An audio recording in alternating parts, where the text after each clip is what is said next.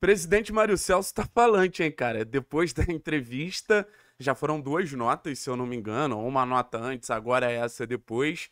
E na noite dessa quarta-feira, o presidente Mário Celso Petralha, ele fala numa nota sobre a questão da dívida tripartite, que foi acertado, o acordo tripartite, né? Fala sobre os planos futuros com o Atlético e ele faz uma promessa no final da nota, onde ele promete um time forte para o centenário. E a minha primeira impressão ao ver essa promessa, não ao ver a nota, eu achei até a nota boa, mas ao ver essa promessa foi, caralho, lá tá o Petralha prometendo coisa de novo.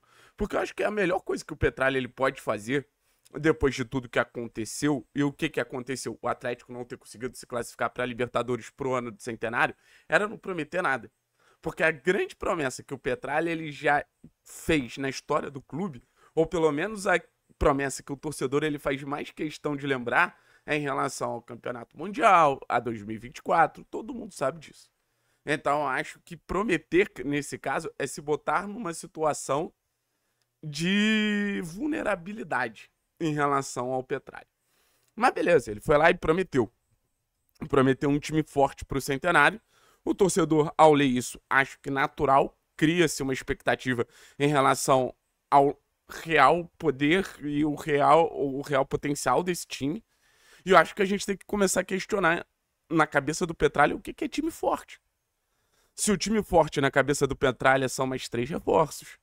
Se o time forte na cabeça do Petralha é algo comparável ao Flamengo, a Palmeiras. Eu tô vendo Flamengo e Atlético Mineiro. Apesar de achar que a gente tem um time muito bom, ainda existe um gap, ainda existe uma distância. Então, assim, eu tô curioso. E eu acho que o Petralha ele não tem que falar. A gente quer um time, a gente vai montar um time forte com o Atlético Mineiro. Eu acho que o Petralha ele tem que deixar esse mistério mesmo. Só que cria um ponto de interrogação que o torcedor ele pode se apegar nesse ponto de interrogação para cobrar mais, para até internamente criar uma expectativa maior em relação ao poderio desse time para 2024. Ou o torcedor ele pode entender, a gente vai criar um time forte no, no limite das nossas questões financeiras, no limite das nossas limitações, podemos dizer assim, limite das limitações é foda, mas é por aí. Então, assim, quando ele me vem e me promete um time competitivo, eu não sei se ele vai me trazer jogadores do nível do Paulinho. Se ele, quando ele me promete um time competitivo, eu não sei se ele vai me trazer jogadores do, do, do mais alto nível mesmo, que eu tô falando. De um nível de, de, um Everton Cebolinha. Eu acho que quando o Petralha ele promete um time competitivo, ele fala do Raniel do Cuiabá. Ele fala do destaque de, pô, qual outra boa surpresa do Campeonato Brasileiro? Me vem muito na cabeça o Cuiabá, mas enfim. Quem sabe um destaque de, de, de, de Série B, um Rômulo da vida. Porque é esse o Atlético. E vou te falar, até esse tipo de jogador, até esse perfil de jogador, hoje é super valorizado no futebol brasileiro. Porque esse cara, ele faz uma temporada acima da média e parece que ele vai conseguir o contrato da vida dele. E hoje, gente, no futebol brasileiro, qualquer clube paga 400, 500 mil para jogador médio para fraco. O Atlético, ele consegue manter uma saúde financeira pagando salários de 100, 200, 250 porque o clube ele tem muito mérito nessa capacidade de negociar, nessa capacidade de, de, de convencer os jogadores a correrem por menos. Mas assim, eu acho que o Atlético ele oferece outras coisas muito positivas. E é o que eu sempre falo para você. Você tem que chegar no mercado da bola com argumentos. Você tem que chegar no mercado da bola convencendo esse cara a vir te representar. E a gente sabe todos os argumentos que, que, que o Atlético e que o Alexandre Matos vão oferecer para os jogadores acertarem com o Atlético. Acho que dá para, sei lá, ver jogadores de time rebaixado, jogador do América, jogador de um, de um Vasco, por exemplo. A situação do Vasco está ficando muito difícil no campeonato. Quem sabe não tem um, dois, três ali que podem vir a reforçar o time. No times que.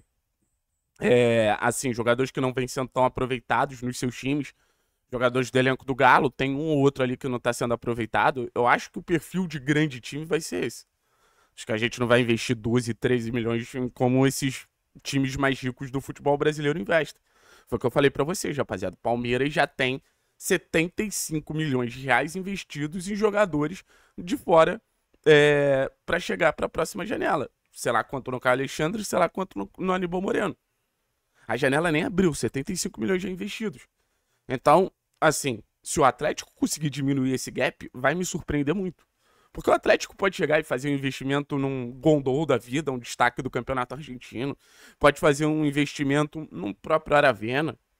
Botar ali a média de investimento de jogador em 4, 5 milhões de euros, cara, ou 5 milhões de dólares, seria excelente. Mas seria um salto muito grande, o que me surpreenderia.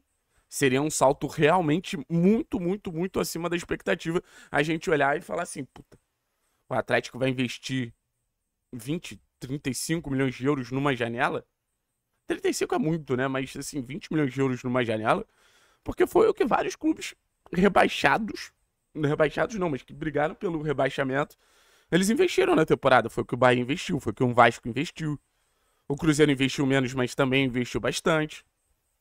Então, assim, a gente vai precisar, primeiro, da força do nosso scout. O nosso scout vai ter que descobrir talento onde os outros clubes ainda não entenderam que existe esse talento. O scout vai ter que descobrir força onde não se descobriu força, tá ligado? E mais do que isso. E mais do que isso. A gente vai ter que descobrir, vai precisar do, do nível de assertividade em questão de negociações do Alexandre Matos.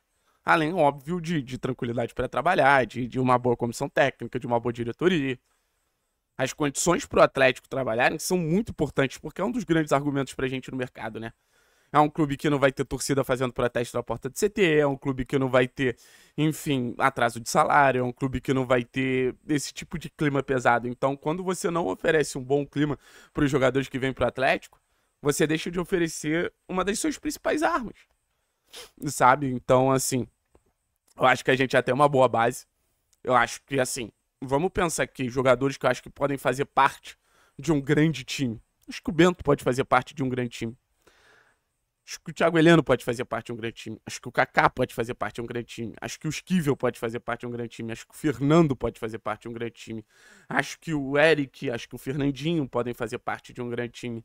Acho que um Vitor Bueno, um Zapelli, um Christian Aí, óbvio, você tem outros jogadores que eu considero que são bons reservas. Um Canóbio, um Coelho, um Pablo, um Gumoura, um Kaique Rocha, sabe? São jogadores que vão fazer ali a composição do seu grupo, porque é algo que eu espero que a gente tenha aprendido. Quando eu bato na tecla que o Atlético, ele precisa ter aprendido com os erros que aconteceram na temporada, a gente também fala de uma numerosidade de elenco suficiente para encarar todos os desafios do ano.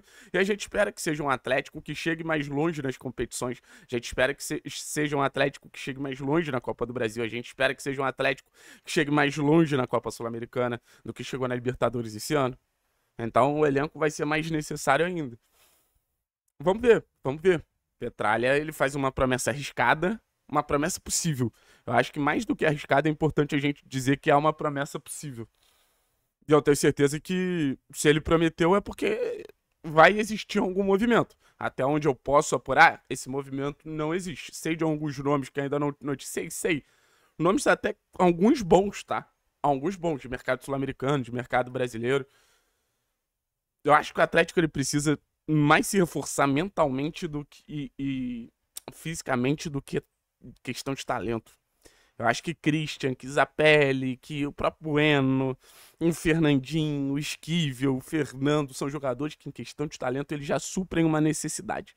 O Atlético ele precisa ter mais cabeça, o Atlético precisa ter mais disposição para correr. Acho que o grau de, de, de, reforço que o time precisa, pelo menos no time titular, é esse. No time reserva, beleza, uma peça ou outra, mas no time titular, talento Atlético tem. É o que eu sempre falo para vocês das quatro fases do jogo, né? mental, técnico, tático e físico.